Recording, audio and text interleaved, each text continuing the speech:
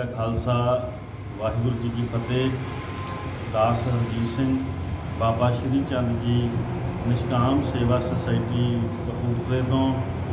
ਮੈਂ ਸਾਰੀ ਸੰਗਤ ਨੂੰ ਬੰਦੀ ਛੋੜ, ਦਿਵਸ ਅਤੇ ਦੀਵਾਲੀ ਦੀਆਂ ਲੱਖ ਲੱਖ ਵਧਾਈਆਂ ਦਿੰਨਾ ਔਰ ਇੱਕ ਮੈਸੇਜ ਦਿੰਨਾ ਸੁਨੇਹਾ ਦਿੰਨਾ ਕਿ ਇਸ ਵਾਰੀ ਆਪਾਂ ਜਿਹੜੀ ਦੀਵਾਲੀ ਪਟਾਕਿਆਂ ਤੋਂ ਰਹਿਤ ਬਣਾਈਏ ਔਰ ਪੋਲੂਸ਼ਨ ਨਾ ਕਰੀਏ।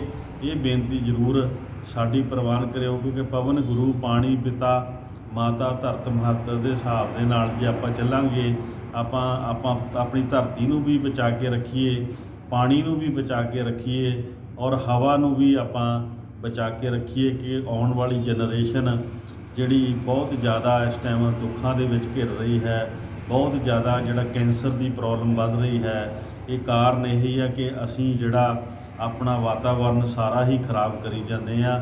ਸੋ ਮੇਰੀ ਹੱਥ ਜੋੜ ਕੇ ਸਾਰਿਆਂ ਨੂੰ ਭਾਈ ਇਹ ਬੇਨਤੀ ਆ ਕਿ ਇਸ ਵਾਰੀ ਬਿਲਕੁਲ ਪਟਾਕਿਆਂ ਤੋਂ ਰਹਿਤ ਪੋਲਿਊਸ਼ਨ ਤੋਂ ਬਿਲਕੁਲ ਪੋਲਿਊਸ਼ਨ ਨਾ ਕਰੀਏ ਔਰ ਇੱਕ ਵਧੀਆ ਸੁਨੇਹਾ, ਵਧੀਆ ਮੈਸੇਜ ਦਈਏ ਕਿ ਦੀਵਾਲੀ ਨੂੰ ਬਹੁਤ ਵਧੀਆ ਤਰੀਕੇ ਨਾਲ ਆਪਾਂ ਮਨਾਈਏ। ਇਹ ਬੇਨਤੀ ਜ਼ਰੂਰ ਪ੍ਰਵਾਨ ਕਰੋ ਵਾਹਿਗੁਰੂ ਜੀ ਕਾ ਖਾਲਸਾ ਵਾਹਿਗੁਰੂ ਜੀ ਕੀ ਫਤਿਹ।